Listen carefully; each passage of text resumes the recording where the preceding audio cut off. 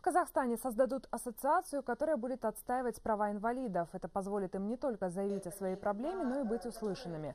Об этом коллективу Петропавловского протезного завода сообщили депутаты Сената. Народные избранники ознакомились с работой предприятия, пообщались с пациентами и разъяснили им основные аспекты послания президента.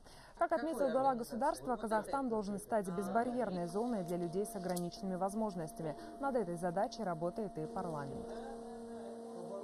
И не каждый человек с ограниченными возможностями может достучаться и пробиться. Это будет как раз создано такое, такое правовое поле для объединенных, э, сконцентрированных конкретных э, проблем, которые надо решать на пути к тому, чтобы эти люди имели бы такое же не только, кстати, в трудовом э, плане, но еще и нравственно-моральные возможности вот быть членом этого сообщества.